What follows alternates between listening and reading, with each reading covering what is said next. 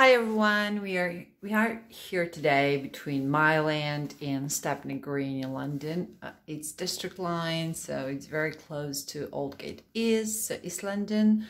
A very nice flat, um, two floors.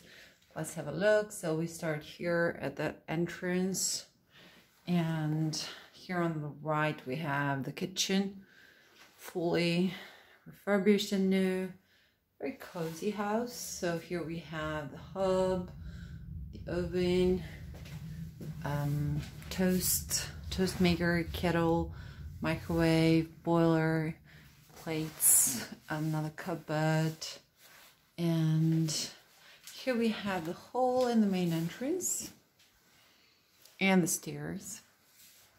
And here we have the living room. As you can see, there's a big couch, cozy paintings or prints, art, let's say.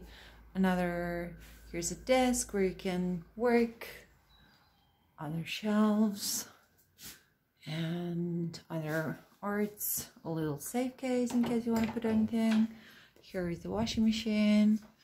And then on the other side, here we go to the patio um, you know, perfect to for good where when it's warm. When you have warm weather and you know have a little picnic or drinks with your friends, with your family, etc. And then um, now go up. We have two bedrooms and one bathroom upstairs. Let's go and have a look. So first one here, desk, wardrobe, little storage, it's closed, TV, hair dryer. It's set like an Airbnb, so short term I, suppose, but I don't know. Um, we have some uh, samples here.